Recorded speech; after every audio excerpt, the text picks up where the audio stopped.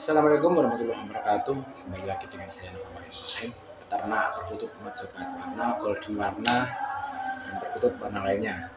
Tentunya masih di channel youtube Nova Wahyu.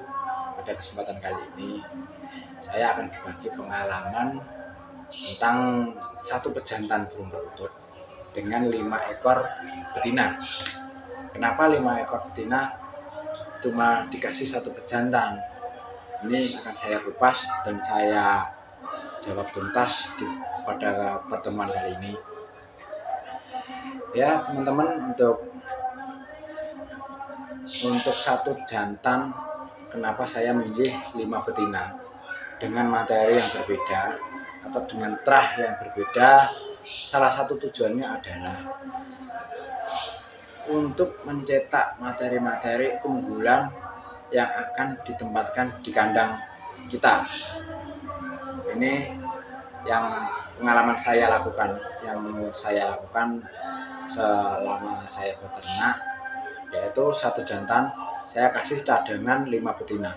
Ketika jantan A dengan betina B, ini nanti saya kawinkan, saya tunggu sampai lima kali produksi. Kalau udah lima kali produksi, hasilnya monoton saja, misalkan A dengan B ini warnanya ya misalkan warnanya warna biasa cemani cemani dengan cemani tapi keluarnya kok. Hasilnya cemani sama cemani terus selama lima kali produksi. Berarti ini yang betina nggak ada darah warna lainnya. Terus kemudian kita ganti dengan betina B. Setelah kita ganti dengan betina B kita amati. Kita amati produknya selama lima kali produksi itu mengeluarkan materi-materi anakan seperti apa. Misalkan anakannya bentukannya cemani dengan cemani atau betinanya nanti diganti dengan warna muka atau warna apa aja terserah. Itu nanti keluar anakannya bisa warna apa gitu.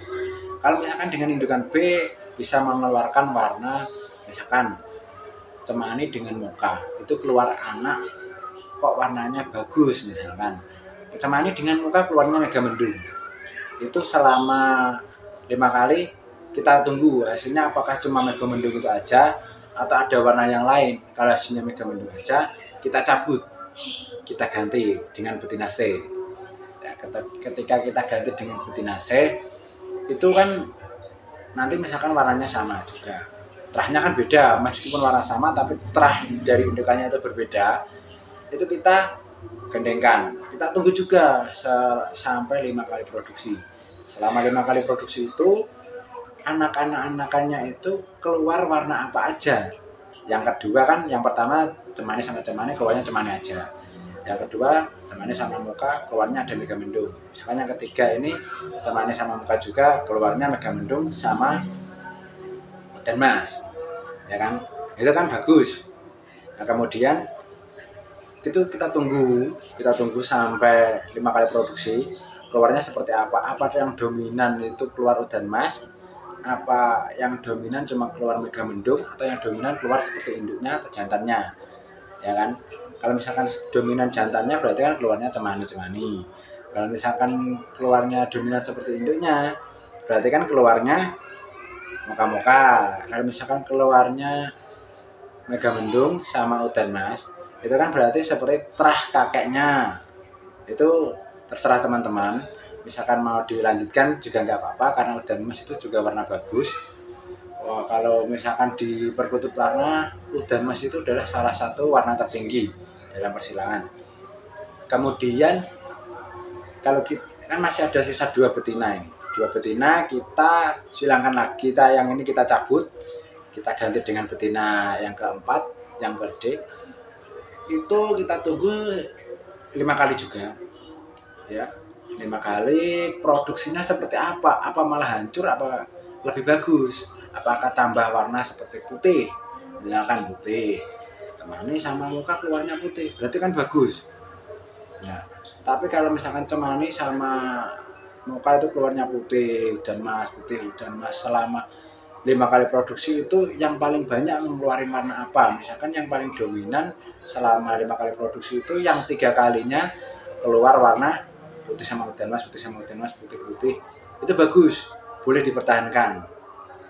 Ya teman-teman kalau misalkan warnanya udan emas sekali putih sekali terus udan emas sama mega mendung cuma sekali juga bagus sih. Tapi kalau misalkan teman-teman pengen hasil yang maksimal lagi kita nggak ada salahnya untuk mencoba yang kelima. Yang kelima itu hasil hasil terakhir. Misalkan hasil ini udah diambil dari terah yang bagus kita silangkan kita silangkan kita lihat hasil anakannya sampai yang kelima misalkan anakan pertama langsung keluar udan mas sama putih majapahit yang kedua udan mas sama mega mendung. Yang ketiga putih sama mega mendung. Yang keempat putih sama udan mas. Yang kelima putih sama putih. Itu bagus berarti wajib untuk dipertahankan. Sangat prospek untuk dipertahankan ke depannya dalam untuk menjaga kestabilitasan materi ternak kita atau terah-terah yang akan kita kembangkan ke depannya. Untuk teman-teman semoga apa yang saya jelaskan ini sudah bisa dipahami kiranya belum bisa dipahami nanti bisa komen di kolom komentar apa yang belum bisa dipahami. Nanti akan saya jelaskan lagi dan saya share lagi di pertemuan selanjutnya. Bila ada kesalahan saya dalam berucap saya mohon maaf ya sebesar-besarnya. Saya masih belajar. Ya saya cuma berbagi pengalaman dalam berternak. Semoga dapat bermanfaat bagi teman-teman. Cukup sekian cukup sekian. Wassalamualaikum warahmatullahi wabarakatuh